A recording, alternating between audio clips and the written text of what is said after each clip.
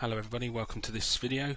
Here I'm going to be talking about the new Ubuntu 14.10 GNOME edition and it's mainly a look at the GNOME implementation rather than what the Ubuntu is, what's the kernel and all that sort of stuff. I'm just looking at the GNOME version, um, what software is included that comes with GNOME, not with Ubuntu. If you want to know that, I suggest you look at a different review. There'll be hundreds of Ubuntu 14.10 reviews coming out, but I don't think too many people talk about the um, GNOME release, which is what I'm planning to do. So, this is a pretty much stock version of GNOME there are a couple of changes that I have made, which I'll talk about as I go through, because this is the second time that I will have recorded this video because I managed to freeze and lock up my system because I was an idiot of what I was trying to do.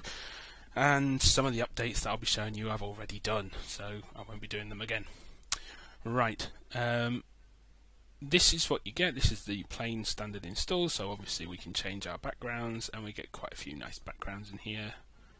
Okay, not loads, but we get a few. And to be honest, anything's better than the one we've got on at the moment. In fact, I think I might pick that one there. Um, there we go, that's a bit more colourful. Right. Um, the GNOME version that comes with 14.10 is 3.12. Kind of. Um, and what I mean by kind of is, yeah, it's got most of 3.12, but some things are still way back in 3.10. For example, Nautilus, um, the version that comes on the disk is 3.10.1. Now, I'd love to show you that, but I've actually updated the system, and I'm now on the 3.12.2 release. But I want to show you why that is. Well, the official Ubuntu GNOME page does say that it comes with most of the things that you should be getting with 3.12 and then it says the rest of it you should get from the GNOME PPA it needs to be the GNOME stable PPA which is this one here not the staging one. I'll talk about why afterwards. So this is the this, whoops this here is the stable PPA and you can see here if I just go down to topic and filter all these out most of these packages are 3.12 so most of these should have been installed on the CD, should they not? I mean, look, um, yes, these came out fairly recently, but they've been around since March. That's when GNOME 3.12 was actually released. So it seems like we're a bit slow to get these out, Ubuntu. But at least they're out now anyway. Well, not thanks to you, it's more thanks to the GNOME team. But uh, thank goodness they're on top of the ball. Um, I have installed these. I'll show you how to do it for anyone that's not sure. We just need to go to a terminal and we need to write in we go sudo apt add repository ppa gnome team gnome 3 and I will put that link in the notes underneath this video. So hit enter, it'll ask you if you're sure to do that, say yes and then update your system and once you've done that, it shouldn't take very long. We then dist upgrade. Now I recommend, oh, there we go, we'll get used to seeing those. Quit that. We'll um, dist upgrade actually we'll uninstall and swap things over. It, I find it much better for things like this where I'm changing the um, window, not the window manager, the desktop environment.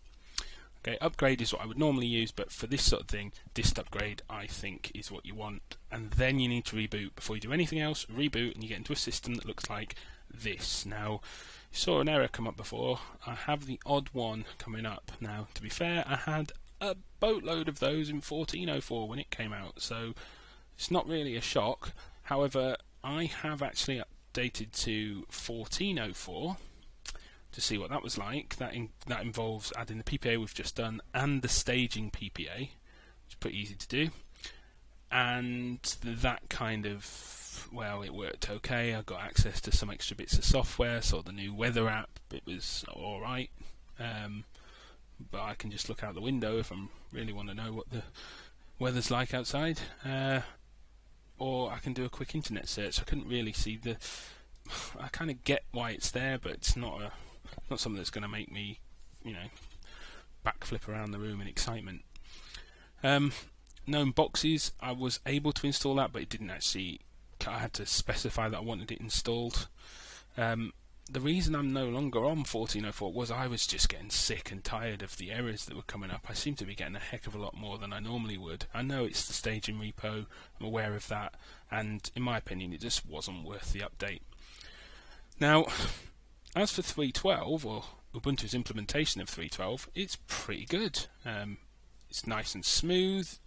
Okay, it, it works really well. It's fast to search.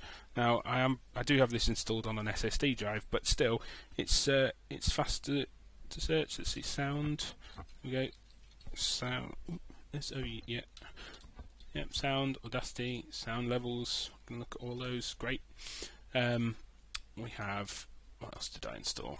I've installed VLC.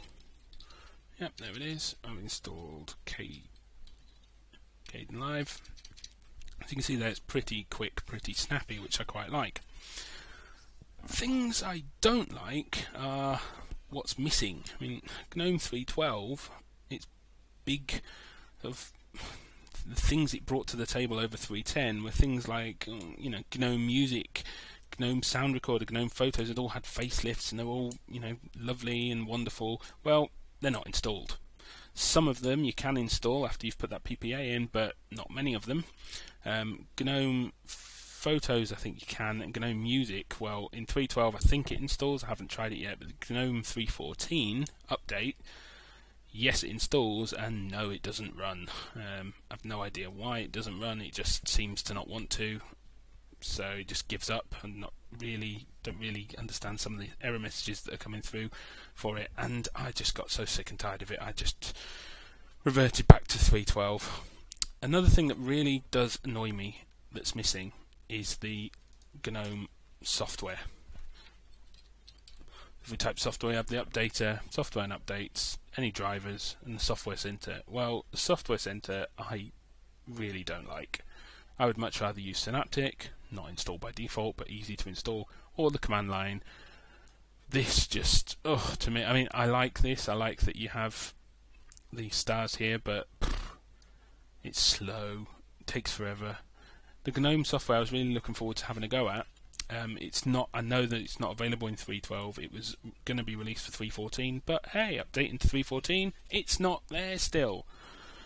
Well, why am I getting so annoyed about it? Well, it's because 312's party piece and 314's party piece is that in here you can actually group your icons together. You can only do that using GNOME software. GNOME software is not installed on this machine. So I can't group things. I'm stuck to having everything separate, which is really annoying. I would like to be able to group them. Okay? I can do it on an iPad, which has been out for years and years. Can do it on Fedora, I can do it on Arch. I just can't do it on Ubuntu for some reason. I know that they prefer using the Ubuntu Software Center. I don't know why they prefer using it, but they do. I did manage to download and compile it from source, GNOME software, but it didn't work. It would start, but it wouldn't locate most of the packages on my system. I think I found about five. Um, I couldn't group them. It would crash quite regularly, so it's it's not really ready yet. Version I downloaded didn't seem to be anyway. I think there is a version available for 3.12 from source. I haven't tried to compile it yet. Um, if anyone has, leave me a comment in the area below and I'll have a look at it. I do really want to get it working because I want to have a nice play and start grouping icons. Um, just really frustrating. Right, before I go, there's a couple more things that I think people need to be aware of. One, there is a huge bug in the system if you use extensions. Now, I use extensions quite a bit. In order to activate them, you go into the tweak tool. You can go to the GNOME extensions website, but I just use this. One thing I like about the Ubuntu GNOME edition is if we go to extensions, the ones with the grayed out remove icon, they're ones that are here by default. These were already here. Normally, on well, on OpenSUSE and Arch, when I've tried this, there's been none. So it's quite nice to have a few recommended ones already installed that you know are going to work. Now, I quite like using the alternate tab. I don't use the applications menu anymore, which is where this turns into a proper menu. Okay, I found that I don't actually use it, so I turn that off. Um, auto move windows, yeah, well, I don't really use that many workspaces, so That doesn't bother me. Um, ones that I do want, top icons. I like having my legacy icons up here. Okay, so if I have an app running, it will pop up there. You'll probably see simple screen recorders shoot up there in a minute. Um, and one that I really cannot do without. Where have you gone? This one, Dash to Dock. Oh, it's one of my favourite extensions. I don't know if I could use GNOME without it. I like having all my applications here. It IntelliHides. It's just a fantastic little extension. And all of these work on the 3.14 update as well. Okay, if if I was willing to stick with error messages, I would have stayed with 3.14. But unfortunately, I've just not got time to be sorting all those errors out at the moment. Yeah, so I said there was one big problem with the extensions, and that is when you reboot, they all go. They're still there, they're still in GNOME Tweak, but they are all turned off. Now, the way to overcome that, you need to, on the login screen, select the little cog, the little settings icon, and you need to change from GNOME to system default. And that seems to correct it. It is a bug, it is on the Ubuntu GNOME Edition um, website, it's in their documentation, it is being worked at, but there is that workaround at least, so that's quite good. Um, also, if, when you're trying to install, if you want to do a manual partition, it will freeze the live CD, and that'll be game over. You have to restart the computer. The workaround that they propose for this, I haven't tried it, but it should work. It is to use gparted on the live CD before you enter the installation, partition your drives, go into the installation, select what you want the drives to do, and Bob's your uncle, it should all work. Um, that's kind of it. The only other issue I've had is on 3.14 when I've used some of the terminals and drop downs, right clicking I would get weird lines through the boxes. Now that was on the Nouveau and on the um, uh, NVIDIA drivers, so I don't know what the problem is there. Seems to be annoying. Um, and is there anything else? Oh yeah, one other thing. When using the live CD to install or live USB, this is an HD monitor. It's connected via an HD lead, and what you get for about 20 seconds is input not supported. Now I think that's I don't think that's limited to the brand of monitor. This is an Acer monitor that I'm using. I think it's just that the live CD is expecting to put out a VGA signal and it's waiting to be set up for the HD signal. I've had that happen on a few distros. It is annoying considering quite a lot of people are using HD leads now and it's something that I would like to see fixed in the future. Um, other than that, I'm quite happy bunny. Um, the default looks are okay. I personally prefer to tweak um, and I can do a video on what I use here, but I personally use all the Numix things. I think that's quite a good theme. I hate hate the default um, icons. I'll just show you them. They are horrible in my opinion. So these brown, ugh, it's just horrible. So I I do prefer to use Numix circle. Oh, look at that! What a difference! What a difference. There we go. Lovely, lovely circles there. And, oh, beautiful.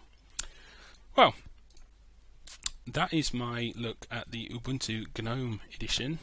Um, 3.12, well, it is once you get the PPA installed and everything updated. It's running pretty smoothly. I do like it. I think it's a good system. It's a shame it's only going to be supported for nine months, so really, unless you want to go backwards to 14.04, you're going to have to install 15.04 when it comes out.